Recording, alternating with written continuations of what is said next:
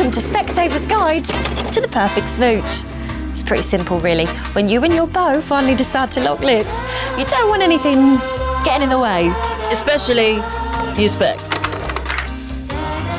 Now, we love glasses, but some things are better with contact lenses.